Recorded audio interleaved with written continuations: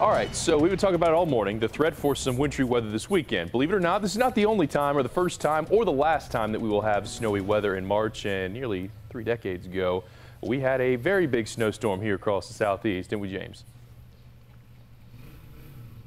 And let's make it perfectly clear this is no blizzard of 93 tonight. I know the blizzard of 93. This is not one tonight, but it will snow. But let's go back 29 years ago. Uh, tomorrow is the anniversary of the Great Blizzard of 93, one for the ages. Birmingham's official snow total was 13 inches, but some spots had two feet of snow. We had convective snow, thunder, lightning, hurricane force wind gust on the ridges. Some people had no power for weeks. It was a generational storm. And in this photograph, there's no doubt the most impressive part of this is not the snow, but the gas prices back in 1993. So, a winter storm warning for Marion and Winston counties and counties up in the Tennessee Valley.